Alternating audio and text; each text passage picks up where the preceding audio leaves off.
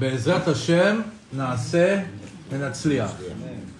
מצווה גדולה להיות בשמחה, להיות בשמחה תמיד.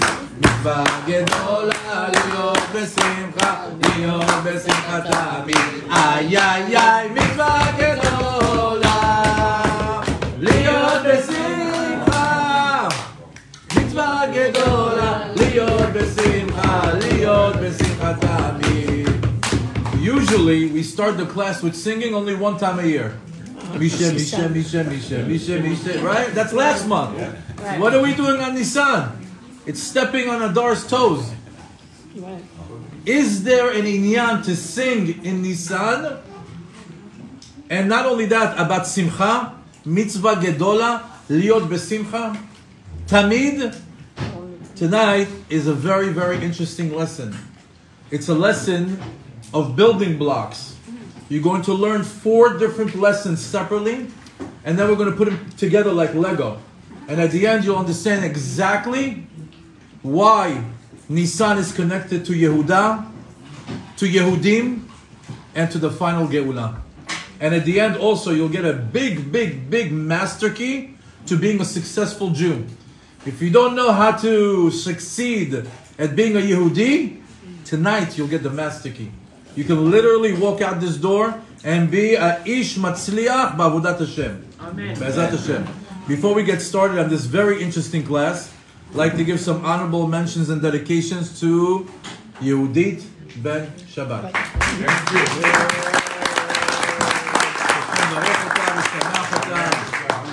I mean, I, you know, if you ever listen to these classes, it's a rewind. I keep saying the same thing because it's the same thing. She does a phenomenal job every time. The food. Did you see the halot? Did anyone taste the oh. halot? Uh-huh. The food, the meat, the wine, the the, the, the ambiance, the, the effort that the Yehudit Ben Shabbat does to learn Torah, to promote Torah, to host Torah.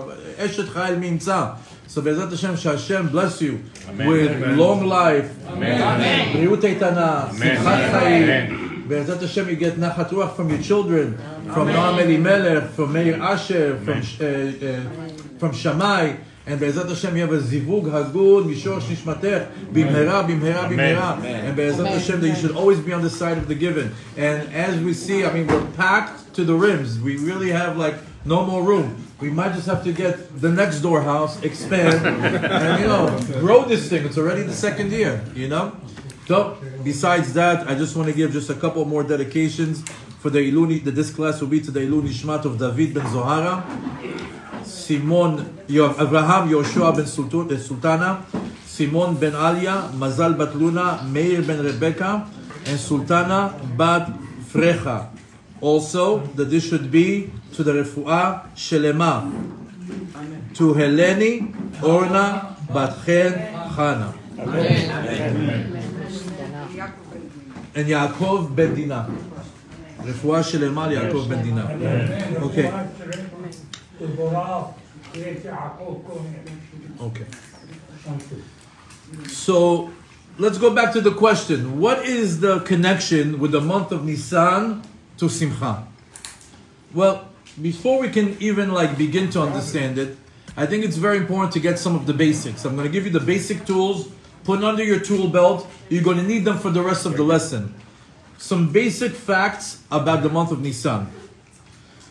The word Nisan, the name of the month, comes from the word Nitzan. The word Nitzan comes from the word in English means to bud, budding, like a flower that's budding. Nisan, I, I don't know if there's any um, Syrians in the house, but the Syrians, how do they say tzaddik? Sadiq. How do you say Nitzan? They say Nisan, right? That Sadiq sounds like a summit. So it's exactly that. Nisan is the time where the trees are blooming. If you recall, a few months ago, we were talking about Tu Bishvat. We were talking about that the sap is going into the roots, going into the tree, going into the uh, into the branches, and soon we're going to see little uh, buds coming out. It's when the life comes back into the earth. Nitzanim. The Nitzanim so see, here we are. Similarly, now we actually are fast forwarding from Tu Bishvat, and what do we see? We see that the trees are budding. Now, and so because that's the season that the trees are budding, Nitzan, Nisan. So it's similar to what's going on in the world.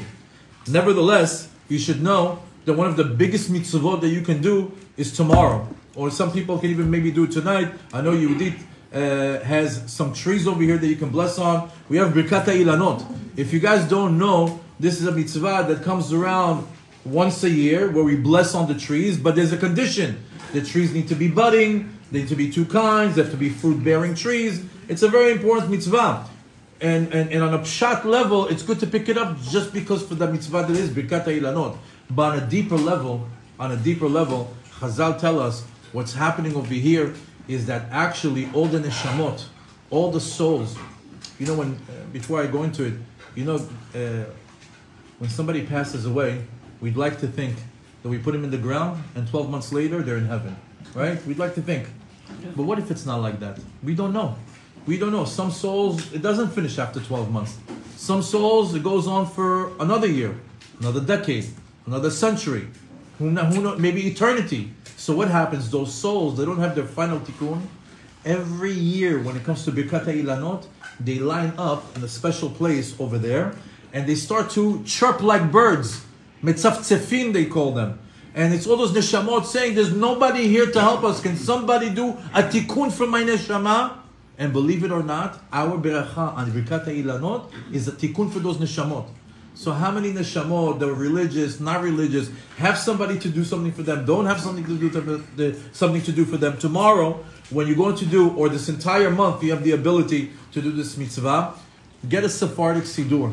In the back, it's about five to six pages, and just read it, even if you don't understand it. It talks about how to rescue these neshamot that are not able to do anything for themselves and take him to the next level. It's mamash, mamash chesed shel emet. What's a chesed shel emet? When a, a favor that you do to somebody and re- expect nothing in return. And that person can do nothing for you. Done. It's a pure chesed.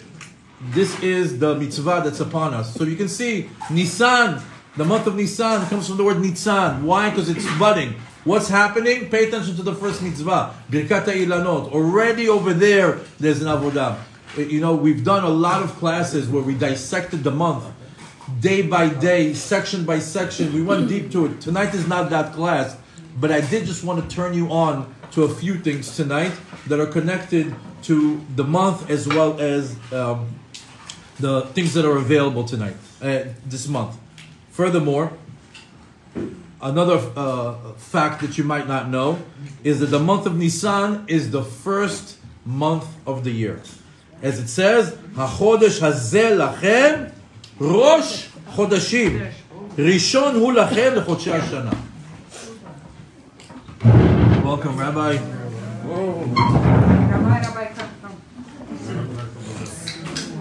החודש הזה לכם ראש חודשים. This month the month of Nisan is the first month of the year. Rishon hu lachem hashana. It's the first for all the months of the year. So right now, it's Rosh Hashanah. You might think it's Tishrei. I'm letting you know that according to the Torah, Rosh Hashanah is tonight. We'll get deeper into it. As a matter of fact, for those of you, Shalom Aleichem, in Megillat Esther, we just finished reading it, it even says about Nisan, B'chodesh harishon hu chodesh Nisan. So we see that the first month of the year is, biblically, is the month of Nisan. Also, it's the month where the Jewish people got out of Egypt. So a month that the Jewish people related to, that was connected to them as Jews, was Nisan meaning all the months that all the years that they were in Galut, in Mitzrayim, in a, in a in an environment that had nothing to do with Judaism, they followed whatever calendar that they had over there. But as soon as they got out and they started to be Jewish, Jews, something had to define them. And one of the things that defines us as Jews is definitely the calendar. We are governed by time. That's for sure. When we pray, when we uh, when we um, uh, uh, uh, the holidays, Shabbat, Chagim, every when we fast, when we, we open up the fast, so many different things are connected to, to time. Even today, three minutes before Rosh Chodesh, we're rushing to get something in that is for Erev uh, Nisan. So we see we're governed by time. Nevertheless, but because this was the first month the Jewish people became Jews, it becomes the first month of the year. Furthermore, Chodesh Nisan in the Torah is called and Chodesh HaAviv. Why is it called Chodesh HaAviv? Because again, Pshat, it's spring. Because it's spring, it's the month of spring. but in reality, it's letting us know that Chodesh HaAviv, or even Pesach, that's called Chag HaAviv, if you take the word Aviv and cut it into two, it becomes Av Yud Bet, the father of 12. Nisan is the father of the 12 months. So we see that over here is the Rosh Hashanah LaChodashim. Furthermore, maybe something you didn't know, but anybody who learns the Gemara has uh, a little bit of an insight on this next thing that Rosh Chodesh Nisan is Rosh Hashanah LaMelachim. It's also the head of the year for the kings. Meaning what? When there are kings in the time of the Tanakh and they would rule, how would you count their years of rulership? It would start. It would start by how many times Nisan overlap. Like so, for example, if a king came into power in Adar, and now one month passed, and now it's Nisan. How many years is he in power? One. One month or one year? One year. One year. One year. One year. This is why it's called Rosh Chodesh LaMelachim. Rosh Hashanah LaMelachim. Every time Nisan loops around, it becomes a year, regardless of how many months before it, when we count the years of the Melachim. Another example, when the time of Bet HaMikdash, we had Trumot and Davot. When a person would go to Bet HaMikdash and have to make some sort of a, a donation, he has a certain time to bring it. So how much time does he have to bring it? So he has 12 months. How 12 months from where? From the Nisan, uh, the previous Nisan. So we see that there's, uh, there's a few things that are connected to Nisan that we might have not have known. They're a little technical, but they're very important. Now, what is the connection of the month of Nisan to Simcha? So let's start tonight's lesson with the names of the month, with the Yud K Vav K name of the month. So for those of you that have been in this class before, you know that we've already dabbled with this concept that God's name of Yud K Vav K, if you boggle it, you can come out with 12 different combinations of how Yud K Vav K can, uh, can be um, uh, can be boggled, right? Can be put together. And God's name of Yud K Vav has a special name for each month. And if you know that special name for each month, then you're able to fulfill what the Arizal taught us. I'll share it with you. The Arizal says, בכל ראש חודש צריכים לכוון במוסף בסיום הברכה האמצעית צירוף הוויה השולטת באותו חודש. The Arizal says, when you get to Musaf, and when you get to Baruch Ata Hashem, Mekadesh Israel V'Rashi Chodashim, there, stop. That Yud K Vav K that's in the Beracha, instead of just having the regular Yud K Vav K, go and look in the chart that shows you what's the Yud K Vav K for Adar, for Nisan, for Tishrei, for Adar Bet. Good, nobody knows. No. Tishrei doesn't have one. Adar Bet is what? All 13. Uh, that's for you, Rabbi. I know you would appreciate that. So every single month has a Yud K Vav K. And the Arizal says, if you know God's name for the month, what happens? In Midrash Tehillim it says, מפני מה ישראל מתפללים ואינ- ואינם נהנים? There's a Midrash that says, they ask, the Jewish people are praying and they're not getting answered. Why? What's the reason that the Jews pray and they're not getting answered? מפני שאינם יודעים להתפלל בשם שנאמר it says because they don't know to pray and mention God's name as it's as we learn it from this pasuk in Tehillim. So if you go to the 91st uh, chapter of Tehillim, Tehillim Tzadik Aleph, it says over there at the end, Asagevehu ki shemi. I will uplift him because he knows my name. Ikre'eni ve'enehu. He'll call me, I'll answer him. Who doesn't want this? I want this like now. I want tomorrow if I can make this happen, I want it. How? All you have to know is when you go to Musaf, you say Baruch Ata Hashem. Oh, what's the Yud Vav to Nisan? What is it? Because if I if I if I have the kavanah of the Yud Vavke for the Nisan, what happens? I'll be mekayim the pasuk. Asageveu ki adashemi ikreeni ve'eneu. Now, you know this is so. What, what we try to do every single month is we try to understand first of all reveal what is the Yud Vavke name of the month and what is the hidden meaning behind it. So this one is the easiest one out of all of them. Nisan, since it's the first month of the year, the order of God's name for the year is exactly Yud, Hey, and Vav and Hey. Easy. So already tomorrow, you're on pro level. You go into Musaf, you already know how to activate God's name for the month. Baruch Hashem, in your mind, Yud and Hey and Vav and Hey. That's it. And now open up your heart, start to Hashem, Hashem, calling out your name. Answer me. I know your name for the month. There's a pasuk, midrash Tehillim. I want to be mekayim. I want to get connected. I want to get plugged in. Chazal also help us out because sometimes God's name could be not Yud Ke Vavke, which is so simple. It could be uh, Yud and Hey and Hey and Vav. Uh, how are you going to remember that? And you might get a month where it's Hey and Hey and Yud and Vav, or Vav and Yud and Hey and... How are you going to remember it? So in order to make it easier, they also give us a part of a pasuk. They give us a part of a pasuk. Like for example, if you want to remember the God's name of Yud K Vav K for Nisan, they say Yismechu Hashamayim v'tagel haaretz. Yismechu Hashamayim v'tagel haaretz. Yud Hey Vav and Hey. And later on, there's other. Every single month, there's a different one. So if Chazal want us to remember Ismechu Hashamayim v'tagel haaretz, right there already, there's two words that are screaming out happiness. Ismechu, that's simcha. And then there's v'tagel, that's gila. So certainly there's something connected to happiness in the month of Nisan. So question. There's, I have a chart that shows another name, you Aleph Hey Yud Hey. Yes, Ekia. They also Why? have that. Can you also do you also have to do with that one? Or- Yes, yes, but for tonight's lesson, I'm only teaching Yud K Vav K because if we go to Ekia, it's a whole other lesson. I'm only going to give it a few minutes.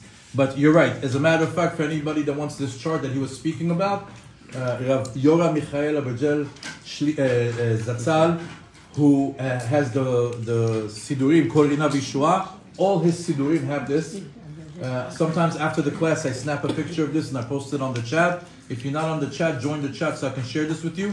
It's worth buying this Sidur. If you don't have the Sidur, print out what I gave you and keep it in your Sidur for once a month that you have it. Now, I sent it on the group. This is- you might. Now let's get started with God's name for the month. Haaretz. First of all, I want right now a Hebrew dikduk lesson. I want to understand what is simcha and what is gila. Because we know that the Hebrew language is so rich.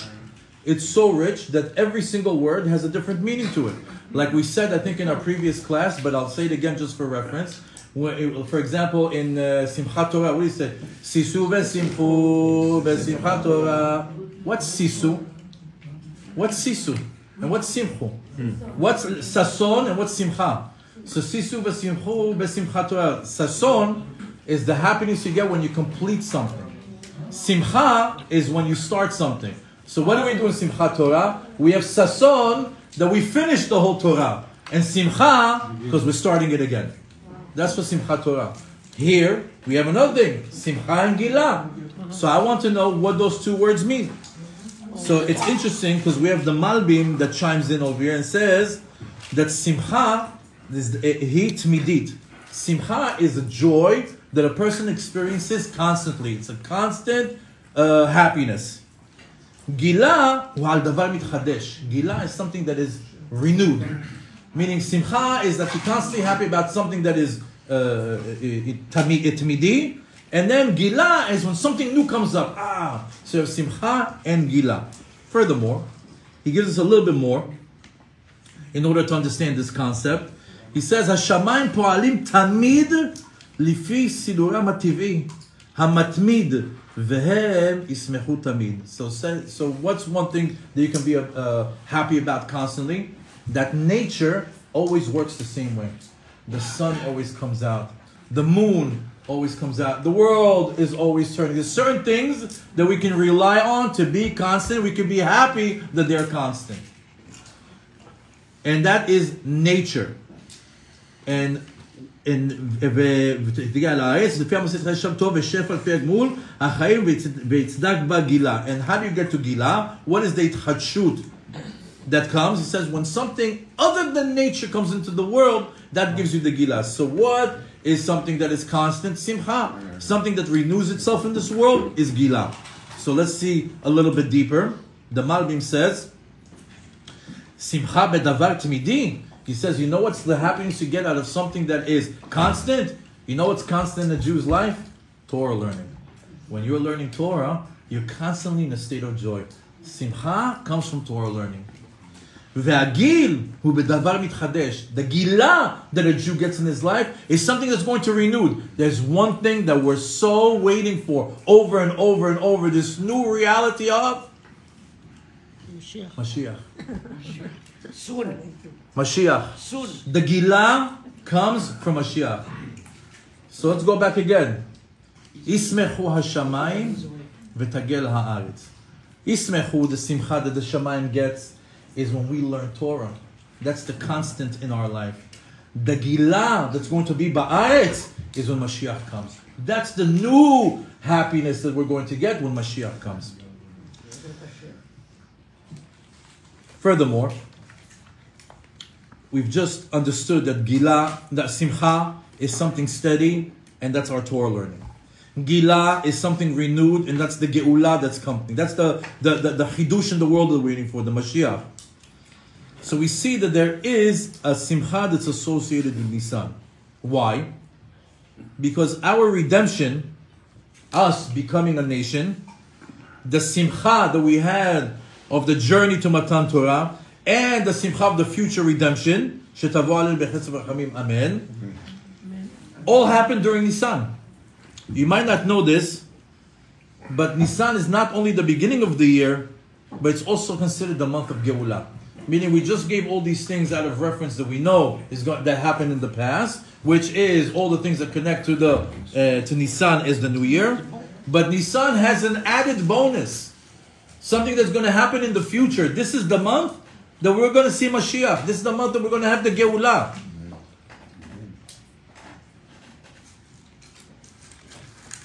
As a matter of fact, there's a beautiful,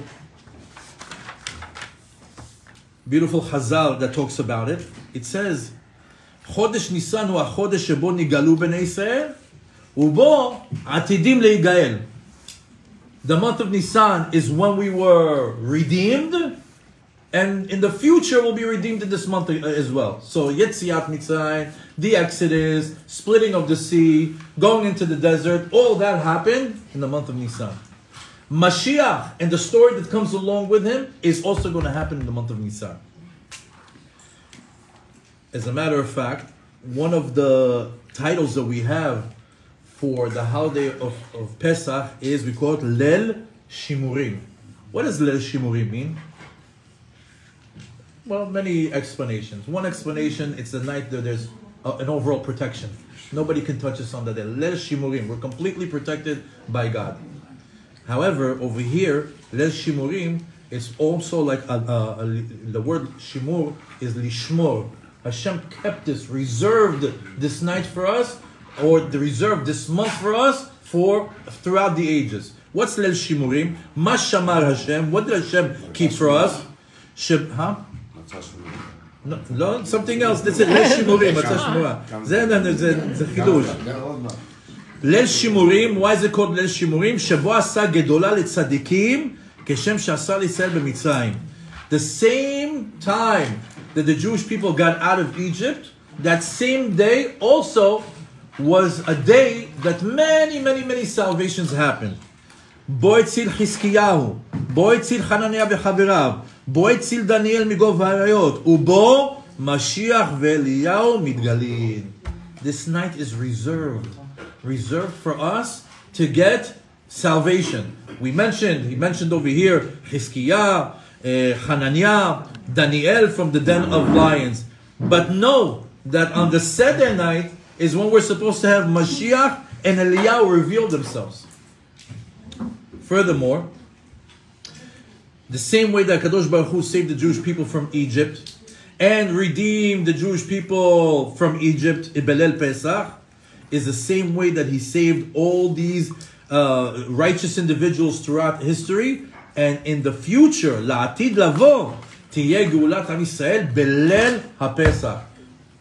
This is such a big claim because I thought you can't uh, say, you know, you can't uh, uh, pinpoint a day or time the Mashiach is coming. But it's incredible because Hazal are revealing to us that it's it's not a secret. It's Lel Shimurim. We have a track record that this, that there were more uh, salvations during that day, and soon to be our ultimate salvation.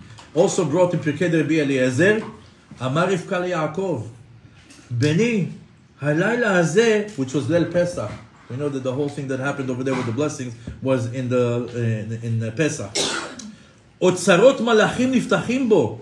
He says the night of Pesach, that's the night that the, the, the halls of, the, uh, of, of all the angels and all the kings, I'm sorry, the halls of the kings open up. The upper worlds begin to sing to God.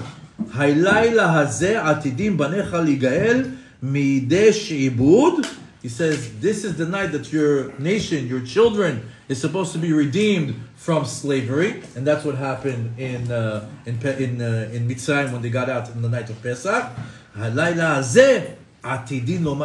And this is the night that they're in the future. They're predestined to say a, a, a, a song to God for redeeming them as well.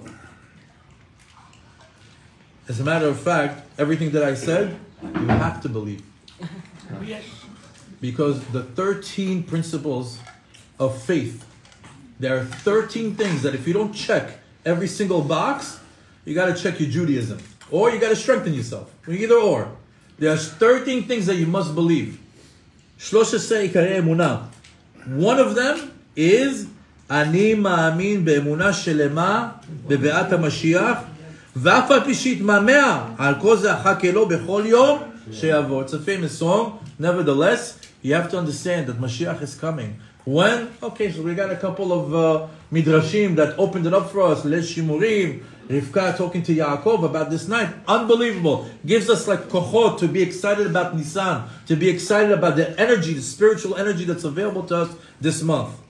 But nevertheless, we have to under, we have to sort of like rebrand uh, uh, Nisan.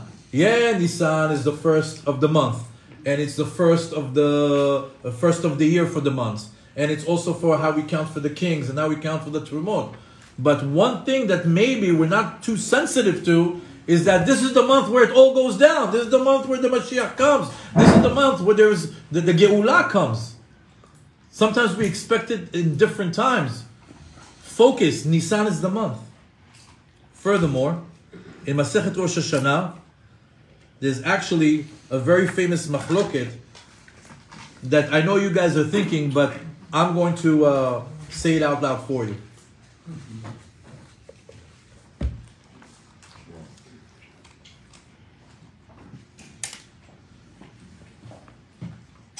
Maybe some of you are scratching your head because we all know that Rosh Hashanah is the head of the year, Yes.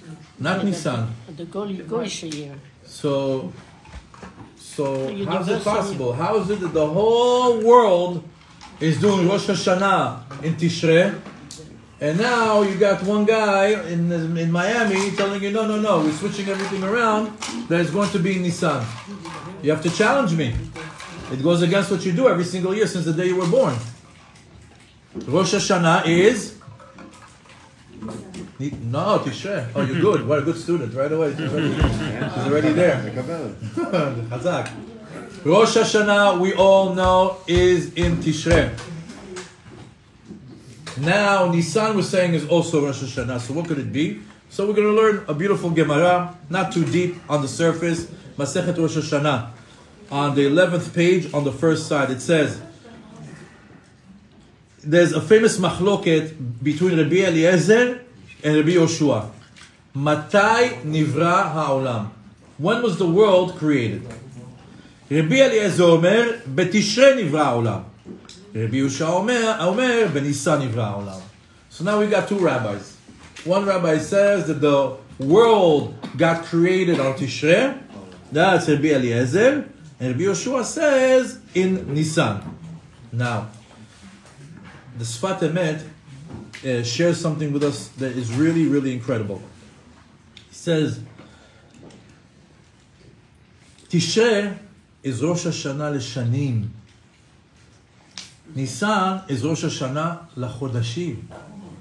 So already we have a small distinction that's a big difference. Rosh Hashanah, it's right. It's Rosh, Hashanah, when we count years. But what we say that uh, Nisan is, Av Yudbet, he's the father of the months. So one is for the years, the other one's for the months. Furthermore, the Sfat Emet says, Tishrei Rosh Hashanah Leshanim hu itchatshut Hashanah al pider hateva. That's when the world renews itself every single year by way of nature. Ubinisan, as we learned, Rosh Hashanah Lamlachim, It's the head of the year for kings. Lemalchei Israel, the kings of, uh, of Israel. And then he brings a beautiful, beautiful Gemara. He says, Vehainu, Bnei Israel שנקראו בני מלכים, שהם בני חורים משעבוד הסטראך, שאינם תחת הטבע. He says, then you know why Nisan is connected to, uh, to, to the Jewish people and why it's their new year? Is because it's, it's uh, connected things that are above nature. Tishrei is the beginning of a new year, לדברים שבדרך הטבע. ניסן is שנה חדשה לחודשים, לדברים שמעל הטבע. In other words, to summarize, עולם הטבע נברא בתשרי. Anything that has to do with nature is decided on תשרי. Anything that's above nature is decided in Nisan. No. Tu B'Shvat was two months ago, full class. I can't go into it. At the end, I'll answer. So here we are. We're starting to now peel away the you know peel the, the layers of the onion. Tishrei is the head of the year for things of nature. Nisan is head of the months for things that are above nature. This is Am Israel. Let's continue. It says, this hitchachut by way of nature, that's something that is not connected to the Jewish people.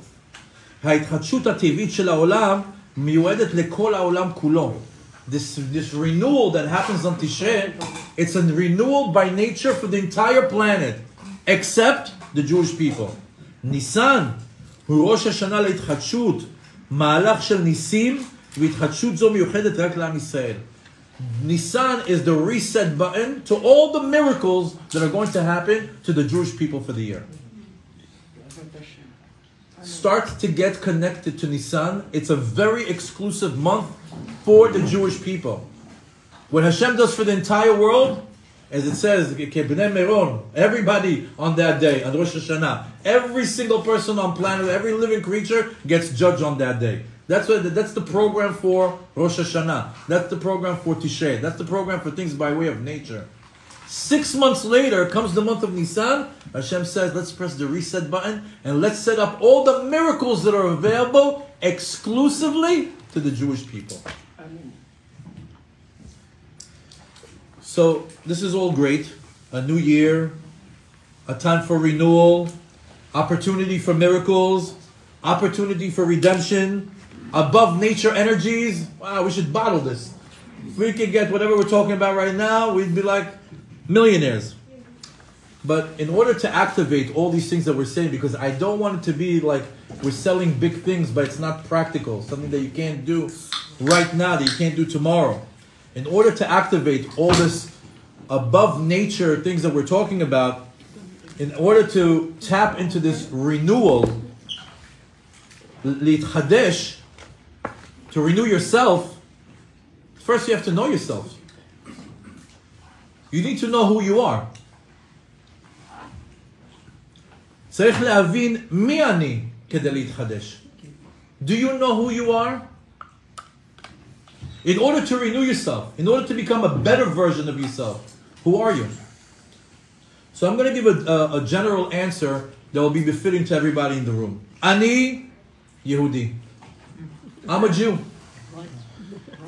Now, it's so generic that you might be okay with the first grade understanding of what a Jew means. That Ani Yehudi, yeah, my, my Ima was Jewish, my father was Jewish, in bare minimum, my Ima was Jewish. I'm Jewish, I'm Yehudi. I was born in Israel, I have a history. Everybody and their definition of Yehudi. But what we're learning tonight is the ab- is how to tap into what's available exclusively to Jews. So in order to tap into it, you have to be a real Jew. What's a real Jew? Do you think you're a real Jew? Above and beyond the checked box that you were born a Jew. Are you acting like a Jew? Are you thinking like a Jew? Are you living like a Jew? Are you even able to tap into the things that are available to Jews? Let's see. First of all, let's define what is a Yehudi. As a matter of fact, did you ever think about why we are called Yehudim? And also, you know, with, with this big question of how to renew yourself as a Jew, a Yehudi, and why we're Yehudi, how is it even connected to the month of Nisan? Because keep in mind, we're in a Rosh Chodesh class. So everything has to get tied into the month. We can't go off tangents and talk about 10 different things. We're going to always tie it in to what we're talking about tonight, which is Rosh Chodesh. Rosh Chodesh says you can renew yourself. And not only that, you can tap into new miracles that are exclusive to Jews that come to life in, in, in the right now. We're minutes into it. Hashem already renewed all the miracles for the Jews. Okay, I want my share. I want my share. You want your share. Who doesn't want need a miracle? Uh, a nes beder chateva. Because that's how they come. Miracles by way of nature. Who doesn't want one?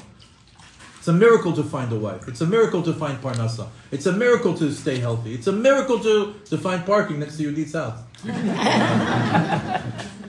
Need miracles. So, so what is a Yehudi? And how is it connected to the month of Nisan? So I would say, since we got out of Egypt in the month of Nisan, and that's when we became Jewish, so that, that's the connection to Nisan and Yehudi. Ah, chazak. One plus one equals two. But the truth is, we have to think a little bit deeper on it because when we got out of Egypt, we became Bnei Israel. So why don't we call Israelim? That's our national title. They call us Israelis because of the land of Israel. It's a national title. But as a nation, we're Yehudim. So how come when we got out of Egypt, when we became Jewish, why are we called we're called Bnei Yehudim? Why are we called Bnei Israel? Why are we called Israelim? Why are we not? Why are we called today Yehudim?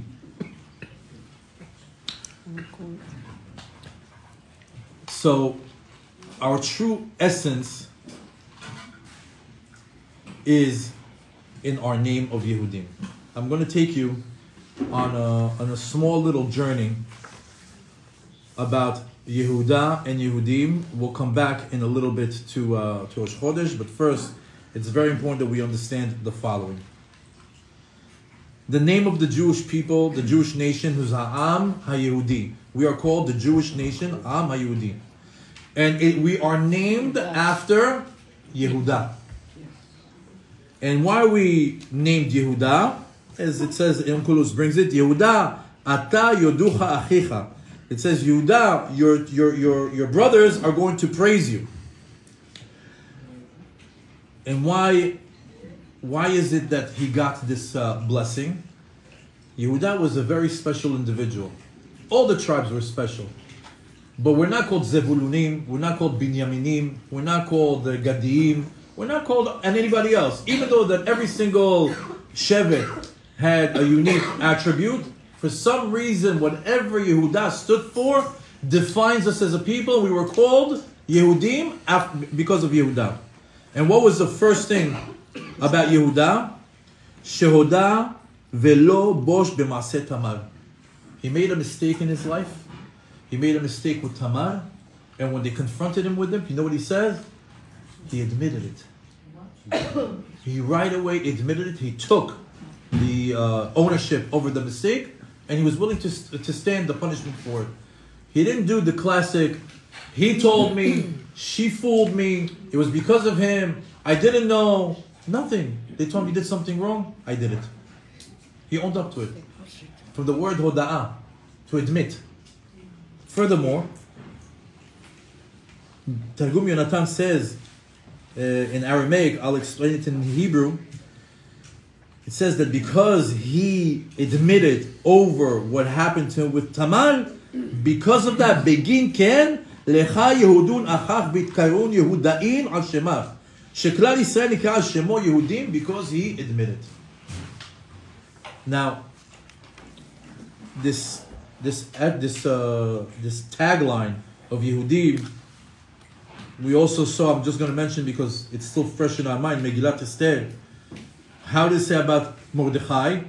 Ish Yehudi Haya B'Shushan Abira. Out of all the things to call Mordechai, he was a you know was a chief rabbi. He was in the Sanhedrin. He was uh, you know like uh, whatever. So many things that the cousin of uh, or the daughter of uh, Esther. Uh, maybe he was a high official in the army of uh, of, of uh. So many titles you should give him. But what's the thing that they want us to know that defines him?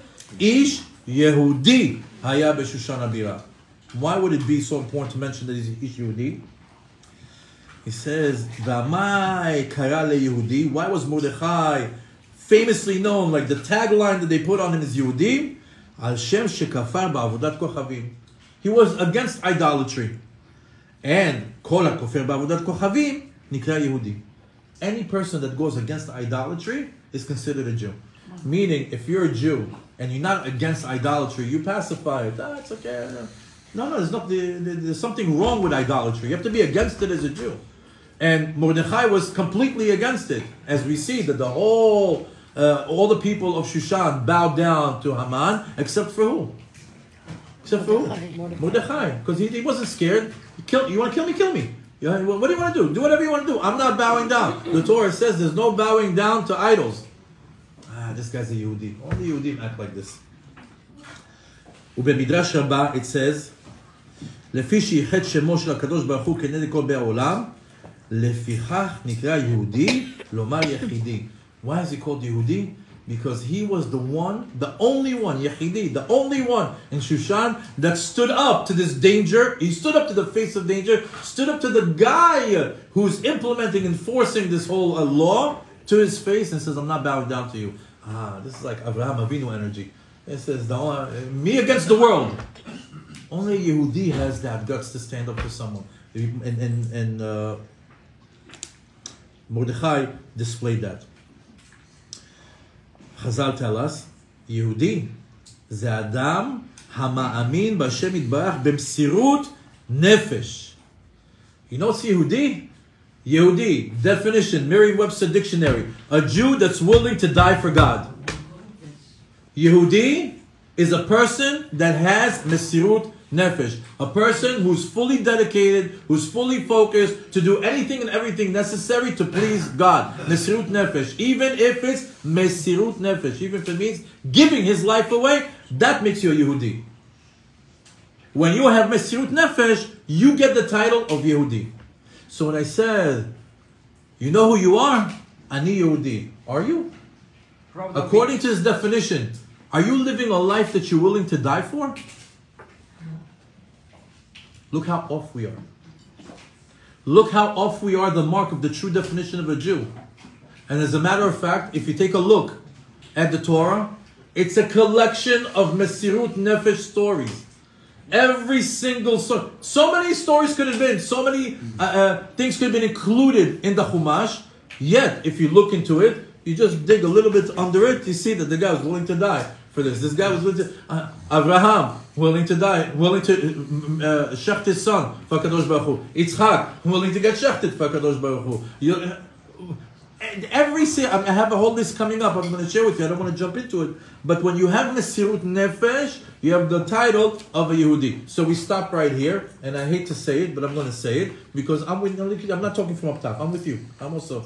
I don't know if I'm a Mesirut Nefesh guy either. I don't know if you're willing to die. We, eh, you know, in theory, in theory we say it. Well, when it comes down to it, who knows? Who knows if we'll have the guts to die for Kadosh Baruch Hu? But we see that this Mesirut Nefesh is very, very far from the life that we're living. We're not living a Mesirut Nefesh life.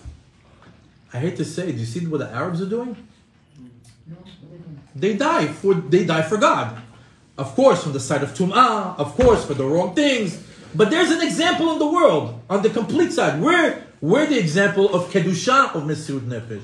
They're the example of tum'ah of mesirut nefesh. So all I'm saying is they're showing us how there could be a reality where you're willing to die for God for the side of good, not for the side of bad. Chas v'shalom, we should learn nothing from them. But they do have mesirut nefesh.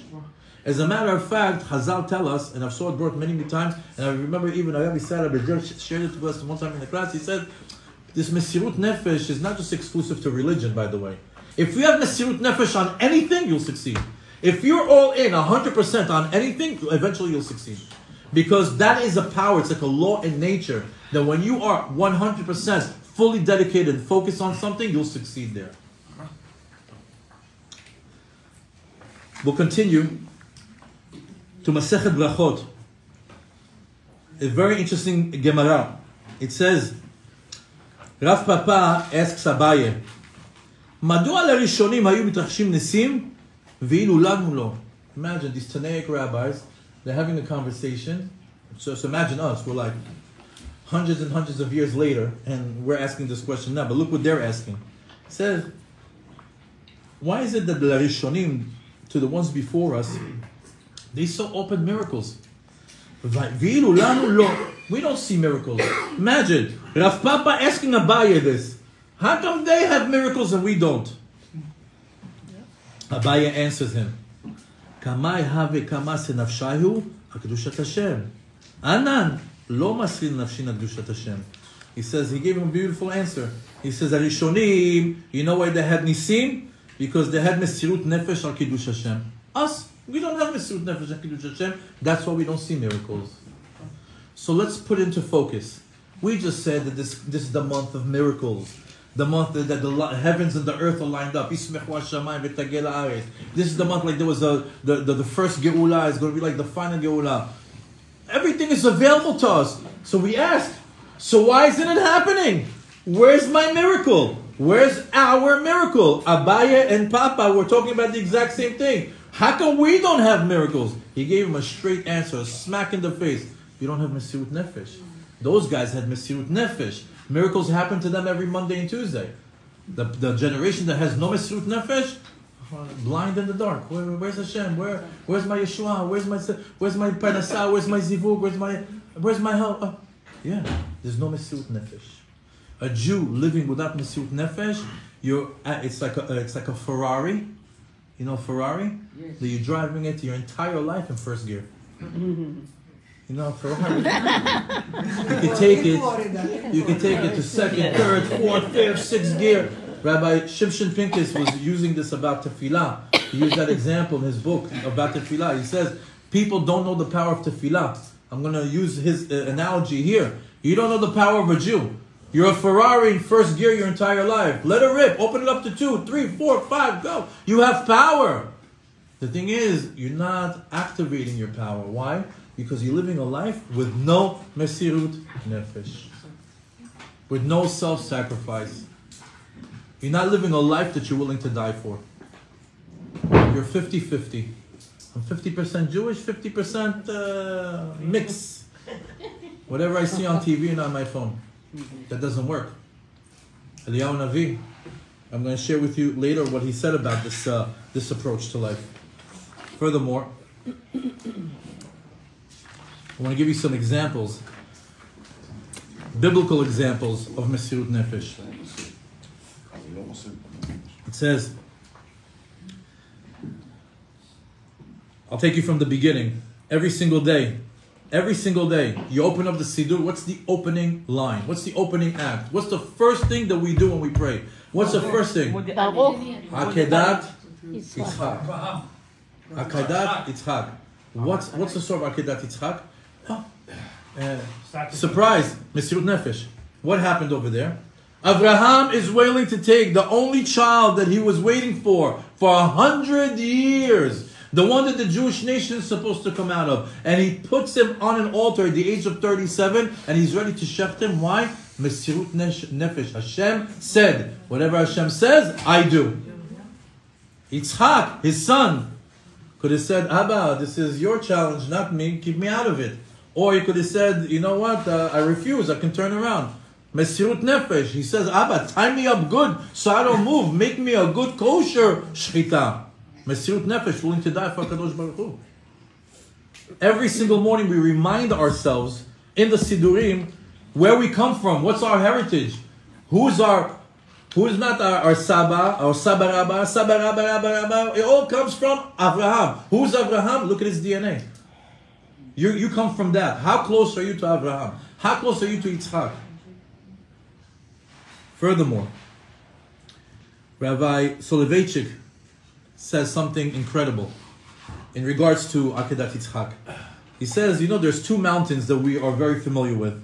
Har Sinai and Har Moriah. He says, why wasn't Bet HaMikdash built on Har Sinai? That's a good question. If we got the Torah on Har Sinai, it would have been appropriate to maybe build the Bet HaMikdash on Har Sinai as well. And we come there three times a year into the desert, and then we visit it. If we, or maybe it becomes part of Israel, whatever. Hashem will figure it out. We could have lived. I'm sorry, we could have built Bet Hamikdash on Har Sinai. That's what the Torah was given. No. You know where you build uh, Bet Hamikdash on top of Har Moriah. You know why? Because over there there was Mesirut Nefesh. That's where Abraham wanted to shecht his son Yitzchak. The Mesirut Nefesh that was embedded in that place, that's where Hashem says Bet HaMikdash. Har Sinai lost to Har Moriah because Har Moriah, Mesirut Nefesh was over there. In Har Sinai there wasn't Mesirut Nefesh. HaKadosh Baruch Hu him Har Kegigit. He says, uh, he forced him to take the Torah, as it says over there. He says, no, over there there's a Mesirut Nefesh. Here was a Mesirut Nefesh. Nice. Furthermore, it says that the Yehudim are called after Yehuda because he admitted on the Maaset Tamar, which is a Mesirut Nefesh. A person that was in his status, in his stature, the embarrassment that comes from that, and yet he fought it, and this is, it, it- he fought it, and he admitted it, and he accepted it, and this is the essence of the Jew. Mahut Yehudi, Mesirut Nefesh, Al Kedushat Shemo. Yehuda showed us in order to be, to to uh, to glorify the name of God in the world, whatever it takes, even if it's embarrassing, even if, even if it's death, for Kiddush Hashem, you do it. And because Yehuda was the first example of how a Yehudi should be willing to give up his life for Kiddush Hashem, we're called after him. Furthermore, it says something else about uh, Mordechai, but I'll skip. We'll go to the next one. The Gemara, in Masechet Sota, on the 36th page, on the first, on the second side, says, uh, on the second side says, Yehuda, Maihi. They, t- they try to go deeper and understand Yehuda. Yehuda, Maihi. When we try to understand Yehuda, what is it? דתניא, היה רבי מאיר אומר, כשעמדו ישראל לים, היו שבטים מנצחים זה עם זה. זה אומר, אני יורד תחילה לים, וזה אומר, אני יורד תחילה לים. says that in the time of the Exodus, right before Yetziat Mitzrayim, right before the sea split, the, the tribes were fighting with each other. I'm going to go first. No, I'm going to go first. No, I'm going to... They're, they're fighting. קפץ שבטו של בנימין וירד להם תחילה. The tribe of Binyamin went into the water and it wanted to go into the water first. As it says in Tehillim, שם בנימין צעיר רודם. אל תקרא רודם, אלא רד ים. The Binyamin went down to the ocean. והיו שרי יהודה רוגמים אותו. And the, the, the, the, the people from the tribe of Yehuda were throwing stones on him. אמרו לו, רבי יהודה, לא כך היה מעשה. אלא זה אומר אני- אין אני יורד תחילה לים, וזה אומר אין אני יורד תחילה לים. So comes a, a different opinion says no, this is not how it happened. It happened like this. Each one used to say, no, I'm not going to be the first one to go in. And the other one says, no, I'm not going to be the first one to go in. קפץ נחשון בן עמינדב וירד לים תחילה. Comes נחשון בן עמינדב, the prince of the tribe of Yehuda, and he jumps into the water first. לפיכך זכה לעשות ממשלה בישראל. And he merited to be a king, that that from his tribe will be, uh, kings will come from it in Israel. Kol nes kriat yamsuf, the whole miracle of the splitting of the sea, besel mesirut nafsho shel Nachshon ben Aminadav. The splitting of the sea happened because of Nachshon Aminadav's mesirut nefesh. Let's try to visualize it. You have Paro, Virochevav, 600 chariots, and you hear the behind you, the noise right? You can't go right, you can't go left. left. Danger to the right and danger to the left. There's nowhere to go. There's just an ocean. There's nowhere to go. They ask Moshe, what should we do? Moshe says, Hashem says, walk. Who walks into an ocean? Who walks into an ocean? Nobody walks into an ocean. Why? It's a death sentence. You walk into an ocean, at one point when the water passes your nose, you die. Nachshon ben Aminadav says, Hashem said walk, I walk. Mesirut nefesh. He walks, he walks, he walks. He comes, the water comes to his knees, comes to his belly, comes to his chest, comes to his nose, and comes in this line. Higiu mayim ad nafesh. He tells HaKadosh Baruch Hashem, I did all that's humanly possible. If I go one more step, the water goes over my nose and I die. So this is where you step in. I did my max, you take over. The sea split. That type of Mesirut Nefesh, when you do the maximum, the most that's humanly possible, you merit to a Kriyat Yamsuf. You merit to your own personal Yetziat Mitzrayim. And that's why we're called Yehudim. Because that's what defines us. When we're willing to do everything that's humanly possible, and then we're able to activate these miracles that are floating in the air right now. That Hashem just press reset on the whole miracles of the entire year. How? Become a Mesirut Nefesh Jew. Do the maximum that you can as that's humanly possible, and then Hashem, Hashem, tag, you're it, take over. That's it. I made every phone call. I, I went through every appointment. I went to every doctor. I, I, I did every tefillah. I gave every tzedakah. I said I did the most. With a full heart, with a clean heart. Hashem uh, knows, right? And then a person sees miracles. Furthermore, it says that the whole thing of Yetziat Mitzrayim was on a Mesirut Nefesh of the beginning and the end. It was a two-parter, the Mesirut Nefesh. The first Mesirut Nefesh was all the Jewish people in Mitzrayim. What happened? In order for them to get out of Mitzrayim, they needed, they were naked of mitzvot. Nothing. There was nothing. They were on the 49th level of Tum'ah. HaKadosh Baruch Hu says, I have no zechut for you. I have no merit to take you out of Mitzrayim. As a matter of fact, when they came out of Egypt in front of the ocean, what did the ministering angel of the ocean say? Halal of the avodah zarah, halal of the avodah zarah. I can't tell between an Egyptian and a Jew. My, my, my, uh, my condition that was made during Sheshet Yemei Bereshit is that there's going to be a Jew, a Yehudi in front of me. And, he, and I guess the, the ministering angel thought what a Yehudi is supposed to look like. And for that, I'll, I'll go against nature. For that, I'll split the sea. But when he saw that there's no difference between the Jew and the Egyptian, he started to give a hard time. He's like, no, I'm, you know, I'm not going to split for these guys. So this was their reality before they got out of Egypt. So Kadosh Baruch Hu says, look, in order for you to merit Yetziat Mitzrayim, you got to pick up two mitzvot. One is Korban Pesach, two is Brit Milah. Brit Milah, could you imagine, at all the different ages, that they have to do a Brit Milah before they go to a 40 year in the desert. Imagine. You know what's the third day after Brit Milah for an adult? The guy can't move. It's, it's, it's surgery. Everybody did it. And the blood that was from the Korban Pesach and the blood from the Brit Milah was mixed together and put on the doors. And that's how Hashem skipped over the houses with the blood that was made from that Mesirut Nefesh. As a matter of fact, the other Mesirut Nefesh, in my opinion, is even bigger. Why? For 210 years, they are living in Egypt and they are slave nation. One day they get up and they stop working and they take the god of the Egyptians, a lamb, and they take him and they tie the lamb to their bedpost for three days. All of Egypt is hearing, meh, meh, meh, meh. They say, what is this? Our God? They go, they knock on the doors, they see the Jews, and they see over there their lamb. Oh, and they say, oh, you know, they, maybe they bow down to it over there. Who knows what they did? And then they come to the Jews. What are you doing? He says, we're tying up your God to our bedpost. Why? Because Hashem told us we're going to shecht it in three days from now. And then what you're going to do? We're going to put it on the barbecue. You know how much courage you need to have to do that? That the Egyptians don't turn and revolt and, and, and just murder every single Jew for doing that? That was Mesirut Nefesh. They didn't care. You want to kill us, kill us. This is what Hashem said, that's what we're doing.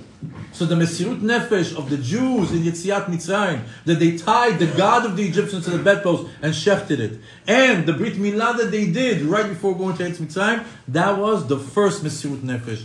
Part two was the Nachshon ben Aminadav when he got into the water, and that was the whole beginning and end of Yetziat Mitzrayim. Once the ocean closed, then Am Yisrael already started a new life.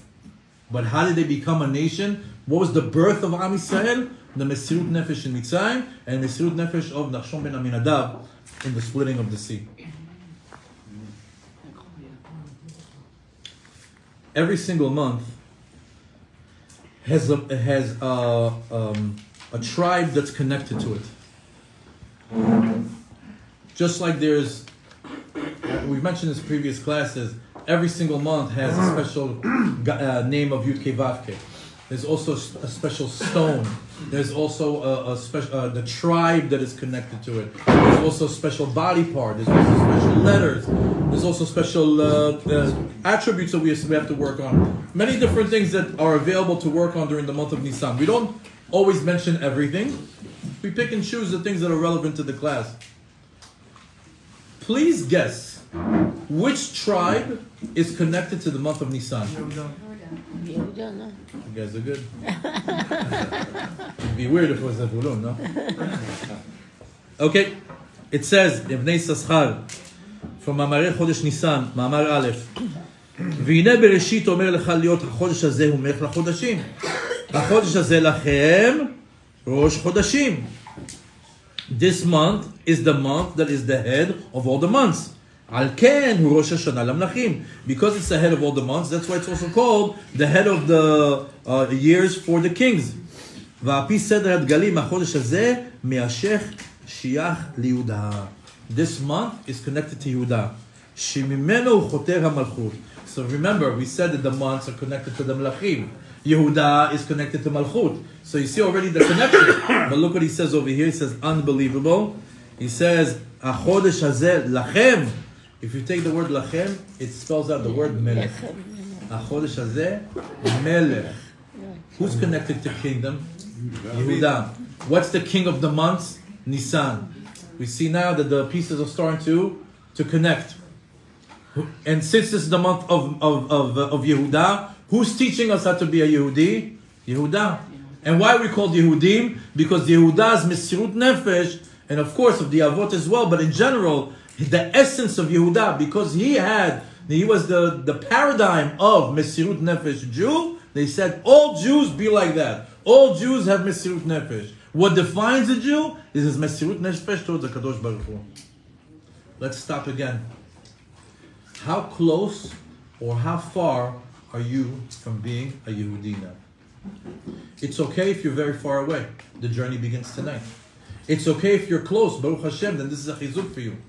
But for me, this was a slap in the face because it's so hard to read these words, to see the life that our tzaddikim uh, live, to see that there's all this amazing miracles available to us, and it's like so far away. I can't, I can't grab it. I can't touch it. I can't. Why can't I bring all these beautiful things into my life?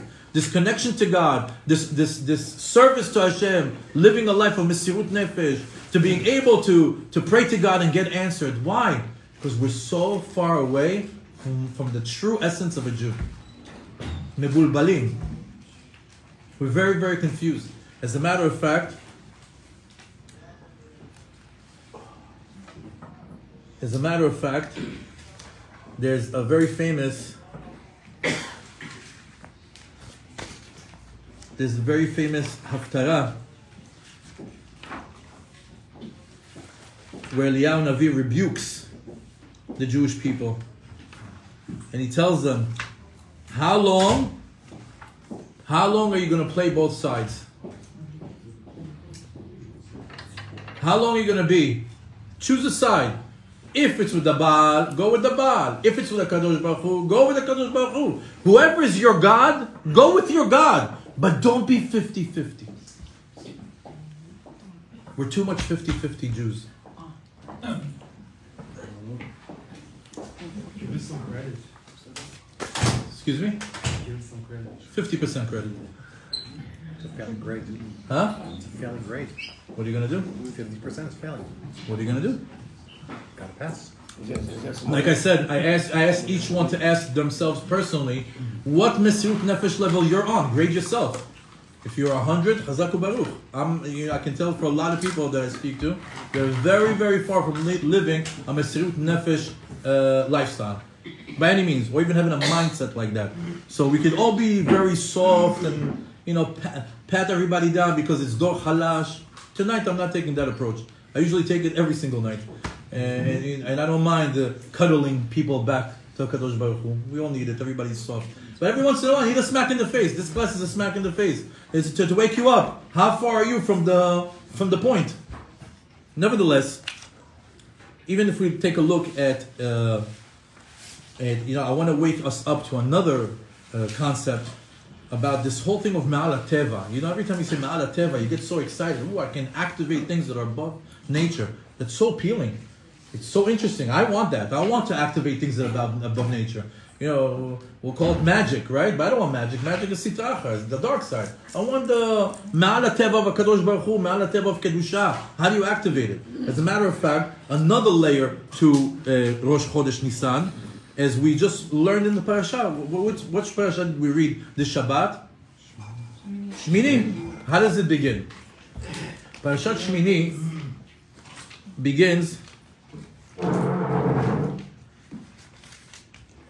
Vayi bayom hashemini.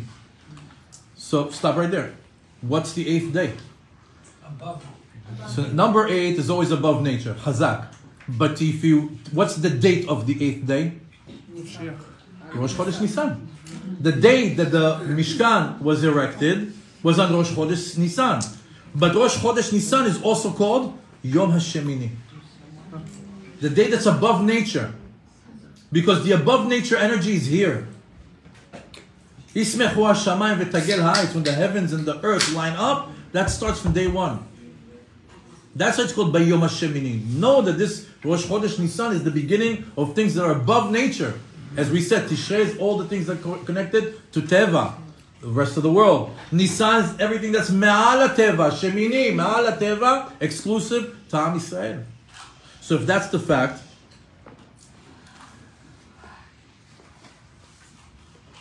I want to understand a little bit better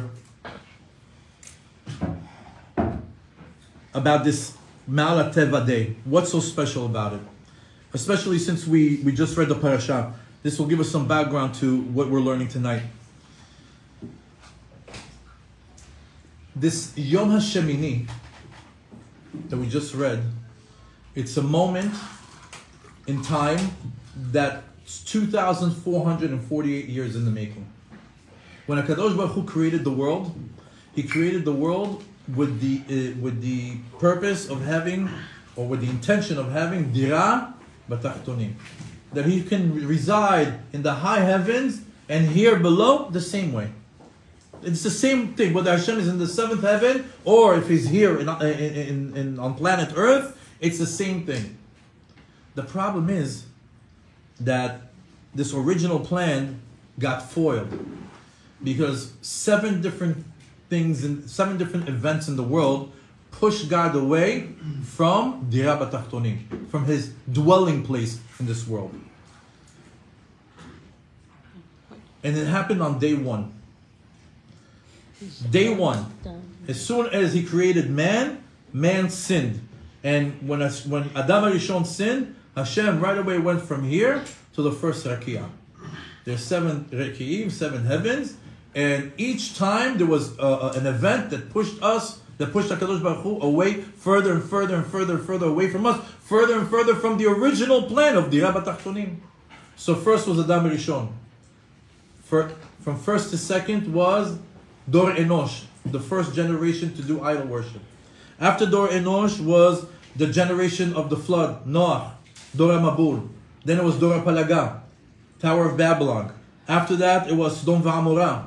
After Sdom V'Amorah, it was Mitzrayim, and, then, and during the time of Abraham, and HaKadosh Baruch Hu is now in the seven heavens, the farthest it can be away from us. Comes Abraham Avinu, and he says, I'm going to start the tikkun. How can we? Hashem created this world so he can reside amongst us, and now he's the furthest away. So Abraham Avinu started the tikkun. And now started the process of bringing Akadosh Baruch Hu from the seventh heavens to reside in this world. So then it was Abraham, Yitzchak, Yaakov, Levi, Kehat, Amram, Moshe. Those seven tzaddikim were able to bring Hashem from the seventh to the sixth, from the sixth to the fifth, from the fifth to the fourth, from the third to the second, from the second to the first, and from the first Shekiyah to the Mishkan. Bayom Hashemini, a day that's above nature. HaKadosh Baruch Hu, His holy presence is going to come on Rosh Chodesh Nisan and finally come back to the first day of existence, 2,448 years later, in the Mishkan. To have a reality where Kadosh Baruch Hu is residing amongst us. Remember, we said Simcha Vegila. What's Simcha? Simcha is the Jewish people learning Torah. There was a big, big Simcha in the world because finally, when Hakadosh Baruch Hu gave the Torah to Am Yisrael, what's happening? There's a Simcha in the world. Why? Finally, the whole world got created for what? For the Jewish people to learn Torah. So when the Torah was given to the Jewish people, now they're learning this Simcha. This Gila of Mashiach coming, that's something that one experience later on. Because why? The same thing that happened 2,448 years after existence of the Shekhinah came down to build the Mishkan. What do you think the time of Mashiach is? The time of Mashiach is when we're able to bring God's holy presence, the Shekhinah, back to where? To. Bet HaMikdash. Kodesh HaKodashim, right between the Keruvim, Hashem's holy, uh, holy uh, Shekhinah is going to reside over there. So the same thing that we that we just read about in Parashat Shmini, that's what we're waiting for. That's what we're waiting for, for it to come back. And that's a moment that's be, above nature. So you want that moment that's above nature, then you have to plug into Nisan. That's a month, month of things that are ma'alateva. And they're connected to what? To everything that can make that moment possible, which is also the final Geulah. Because what we say, Lel Shimurim. Oh, ah, you want the final Geulah? Plug into the month that's able to do it. Remember what Rivka said, that this is going to be the, the, the, the month and the day where the, eh, the, the Mashiach is going to come for your children. So we keep thinking about Mashiach, Mashiach, Mashiach. Start to connect the dots. What happened? Hashem wanted to be here all the time. We lost it. In the Mishkan, it came back. We lost it again. We're trying to get it back again. When is it going to be? It's going to be in the time of third Beit HaMikdash, in the time of Mashiach. When is that going to happen? When you become a Mesirut Nefesh Jew and take advantage of Nisan. That's how it happens. We might be doing a lot of different things to bring Mashiach. But are you doing that? The classic formula. The classic Jewish formula, Mesirut Nefesh.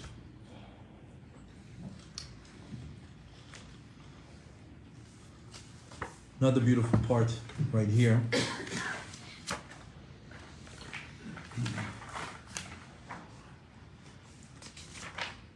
It says,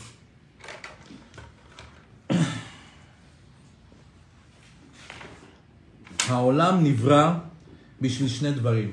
The world got created for two things. התורה וישראל.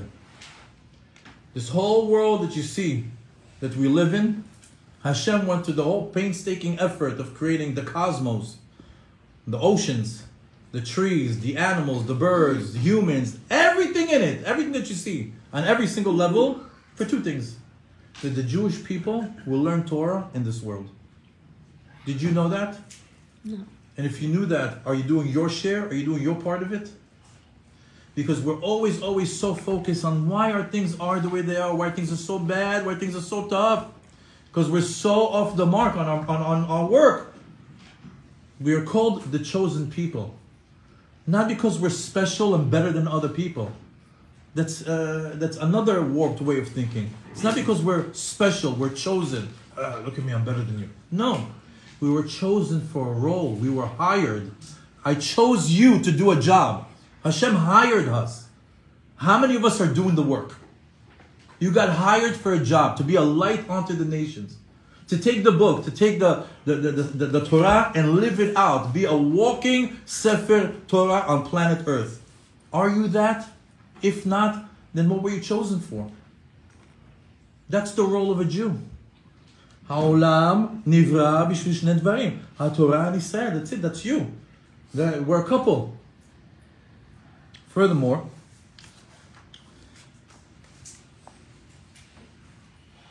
this this whole class was actually just an introduction to this final point. We needed all these layers and all these little blocks of learning to just now piece them all together for this final, final piece. It's connected to the holiday, it's connected to Nisan, it's something brought from the Netivot Shalom, something incredible. It says, HaKadosh Baruch Hu called Am Yisrael Beni Bechori Yisrael. Imagine the creator of this world picked you, picked you and says, You, my son, you, my daughter. You know how special you are? I always say it's like people have a winning Powerball ticket in their pocket and they're not cashing it in. You know that guy that's won a billion dollars? You're better than him. You're better than him. Cash your Powerball ticket. Cash in as a Jew. Be a Jew. You don't know what's waiting. There- There's no number that can that can, that, can equate to the sachar in olam haba. Not that we do things for sachar, but for those people that need the motivation, that there's a reward system. There's a reward system. But just the fact that Hashem chose you, the creator of the world, Melech Malchei HaMelachim, chose you to be his son and his daughter, you know what that is? You're part of the royal family. Beni Bechori Yisrael. And you know, anybody who's a parent and has children, Al Kol Peshaim. You know, children, at the end of the day, no matter what they do,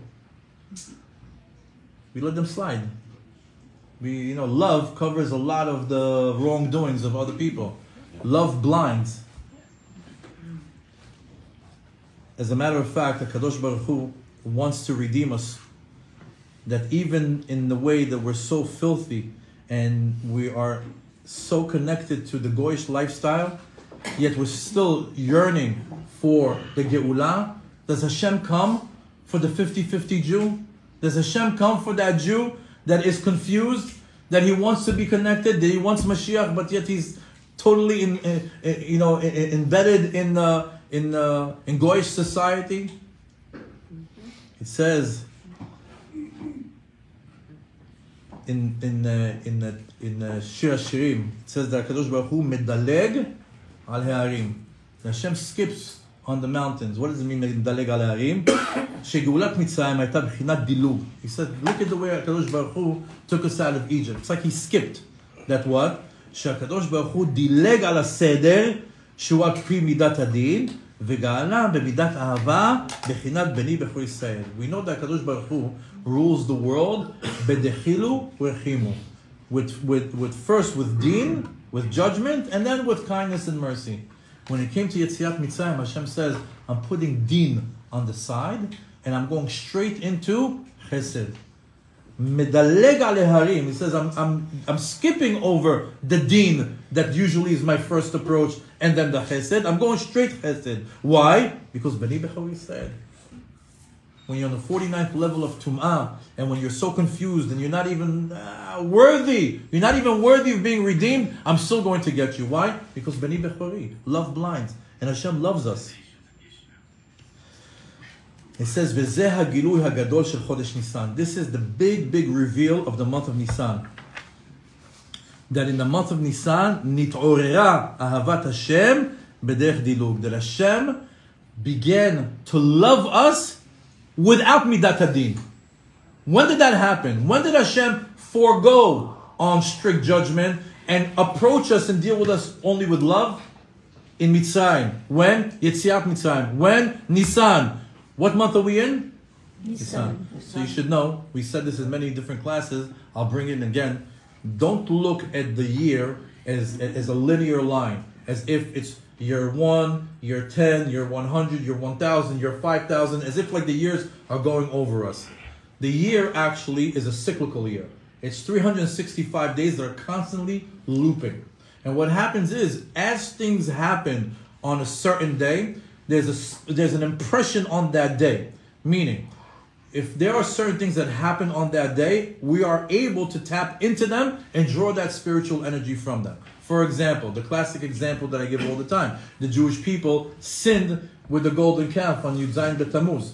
And then we know that Hakadosh Baruch Hu forgave them on Yud B'Tishrei. Yud B'Tishrei is famously known as Yom HaKippurim because that's the day that Hashem forgave the Jewish people. There's the measure of forgiveness embedded in that day. That's why on that day we all go to shul, bang on our chests, and say, "For Aviti Hatiti Pashati, forgive me, Hashem." Why? Because it's the day of forgiveness, Yom Kippurim. That day, the energy of that day is Yom Kippurim. It's not Yom Ahava. That's not the day for shidduchim, right?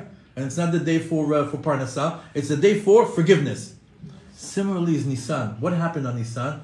Nisan, the entire month was the month that the Jewish people had God's love towards them, and He redeemed them. He took them out of Mitzrayim. So every time Nisan loops around, what do we have? God's love for the Jewish people that He puts away the deen and He looks straight into Ahava, into Chesed, and He helps us out. He gets us out of our personal Mitzrayim and the potential to get us out of our collective Mitzrayim, out of the Galut, and into Eretz Yisrael is always available.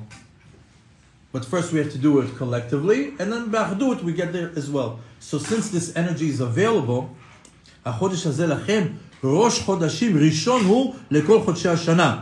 אור החיים הקדוש says about this פסוק, שחודש זה מובחר שבחודשים. אור החיים הקדוש says that this is the best month of the year. You ready for the for this huge claim? You gotta have the shoulders of our אור החיים הקדוש to say this. כי בחודש זה יכול יהודי לדלג doesn't matter which level you're on. Less than 50%. Less than 50%. Doesn't even matter. You can skip whatever uh, uh, situation you're in and get into a much higher level with Kadosh Baruch Hu. Va'afilu meshukah You could be as low as the 59th level of Tum'ah. Just like the Jewish people in the time of Yetziat Mitzrayim. And Hashem will forego that, will not look at that, but will activate His love and mercy towards you to take you out of your personal Mitzrayim. Or to take us out collectively of our collective Mitzrayim that we're going through. Could you imagine what's going on here in, in Nisan? But you have to know this and you have to activate it and you have to connect to it.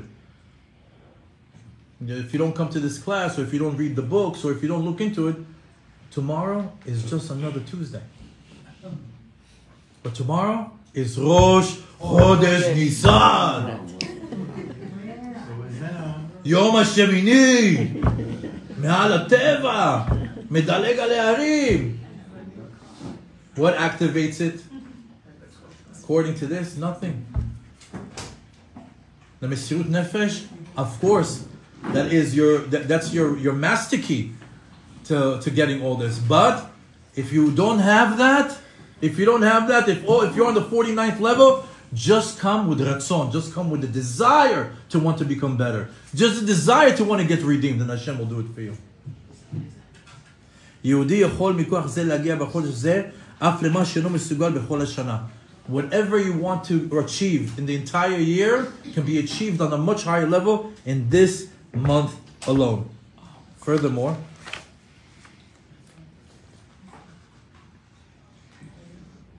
says, Hashla Kadosh, by the way, for those of you that did the Shla prayer right before, is a big prayer. It was a mitzvah to do a, a prayer of Hashla Kadosh for Parnasah on Rosh Chodesh Nisan. Some people fast before, some people give tzedakah before. Nevertheless, Hashla Kadosh, we'll mention him again uh, in tonight as well. Shebechol Yemen Nisan, Yesh Kedushat Rosh Chodesh. Mushroom cloud. The whole month is the energy of today. Ashla Kadosh says, Shekol Yesh Kedushat Rosh Chodesh. Everything that we're talking about, that usually we try to take advantage of the one or two days of the beginning of the month, is available the entire month. And that's why halachically, in the times of, of uh, in the times of Nisan, we don't do tachanun, we don't fast, we don't eulogize, and and the, the, reason why we don't we don't do that is because this the month of Nisan bemadrega gdola miuchedet, and we're not allowed to lafil kol sar We shouldn't even activate anything that has to do with tsar during this month. Why? Shebechodesh ze mitorer tigvat geula. This is the month that it awakens the the the the, the hope for redemption, and it awakens the the, the emotions of joy and happiness. So just like Rosh Chodesh has an effect on the entire month, and just like Nisan, Rosh Chodesh, is for the entire month, and it says that ראש חודשים לכל- לחודשי השנה, החודש הזה לכם ראש חודשים ראשון הוא, לכל חודשי השנה, this entire month you're able to draw from this month for the entire year. If you do the proper work during this month, you can draw it all into the other years, uh, uh, uh, all the other months of the year. Which brings me to the first lesson that we had here so many uh, a, a year ago when we had the comparison between Adar and Elul and uh, and Tishrei and Nisan, how they're also parallel in their energies to Teshuvah Ma'ava, Me'irah, and all the things that are connected to it. Uh, this is anybody who knows that lesson understands this on a much higher level. Lastly, the final Geulah will be like the first Geulah. As we say in the Musaf of Shabbat, "Henga'alti etchem, acharit kereshit. What are we saying over there? That Hashem is going to redeem us at the end, acharit, in the end, kereshit, like in Mitzrayim, like the first time. So just like Hashem redeemed us in Nisan, He's going to redeem us again in Nisan. It says, ניסן, מכיוון שהרת הגאולה מאז גאולת מצרים נשארת תמיד בתקופה, just like we said, that spirit, that, that, that, that spiral, that year, it says, just like Nisan was the month where they got redeemed, that spiritual energy is embedded in that month and it's available to us in every single year. It's as if the month of Nisan is prepared, it's primed for Geula. Meaning, that in the calendar, if there's ever a time, give me a time in the calendar that's ideal for redemption. The whole month of Nisan is ready. He says, I'm primed, I'm ready. I'm just waiting for you. ולכן אין אנו מצפים לה בחודש זה אפילו כשאין אנו מוכנים לה. And that's why we wait for it even if we're not ready for it. Why? Because just like the Jewish people were not ready for it, they were on the 49th level, level of Tum'ah, and they still got the Geulah. Us too, even if we're not ready for it, we're also going to be ready for it because the same thing that happened to them can happen to us. That's why it says, "אחכה לו בכל שבוע, אף- אף על פי שיתמהמה." He says, even if it's going to take too long, don't give up because are we worse than them? Are we worse than the 49th level of Tumah? Maybe we are. Actually, the Arizal says that in the Ikvita de Mashiach, we're going to be in the 50th level of Tumah. And we know that we're in the Ikvita de Mashiach. So what's the difference? 49th level of Tumah, they said, get him out quickly, otherwise there's no way out after 49 level. So if we're on the 50th level, we're the point of no return. Comes the Arizal and says, no. That was the generation before they received the Torah. A generation, the, the people that have the Torah can go into the 50th and get out of it. So we could even be, according to that reason, to the 50th level of Tumah and still get out of it because we have the power of the Torah to get us out of it.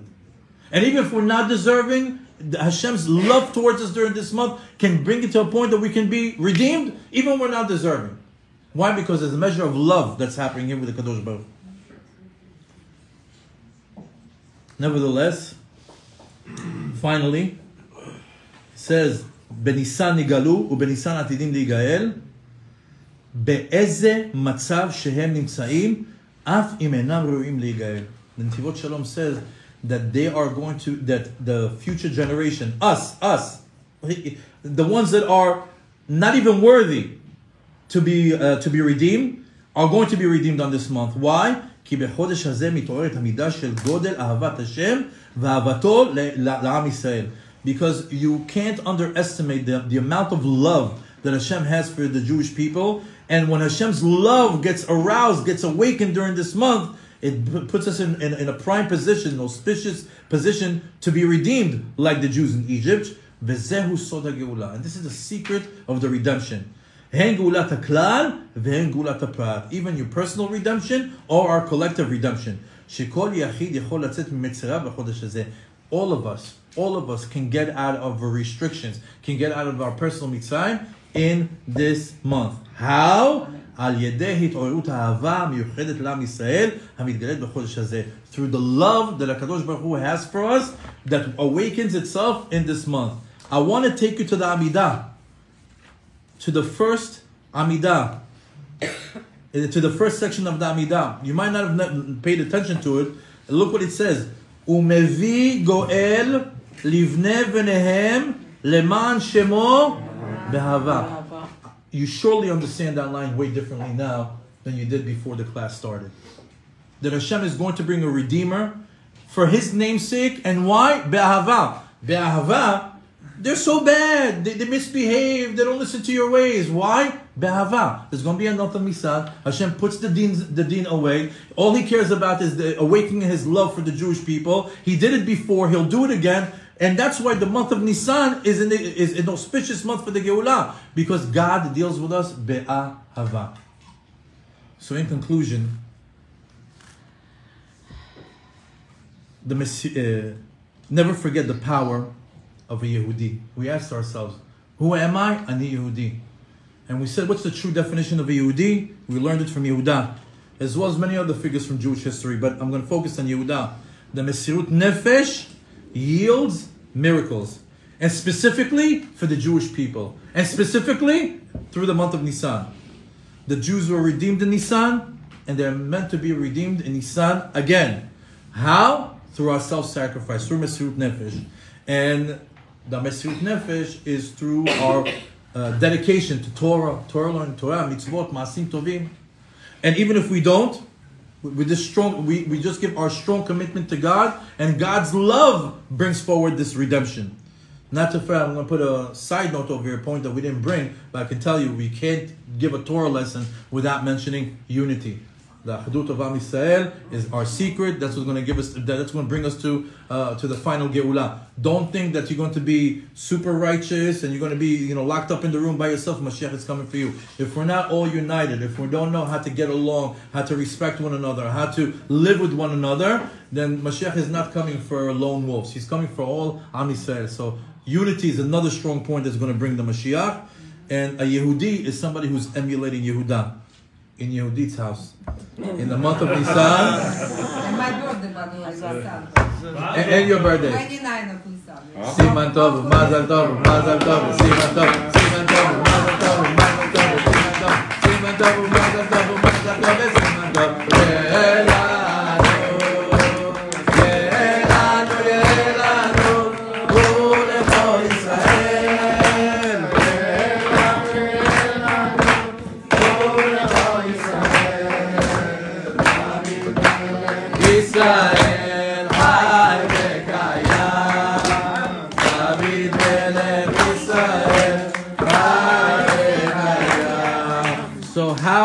Nisan connected to Simcha?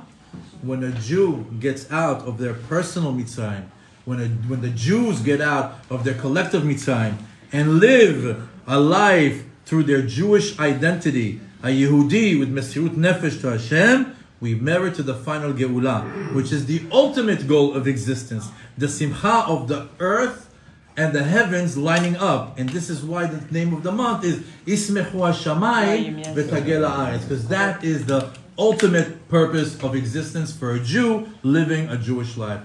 שהשם יברך אתכם ושמח אתכם. See you next month. אמן.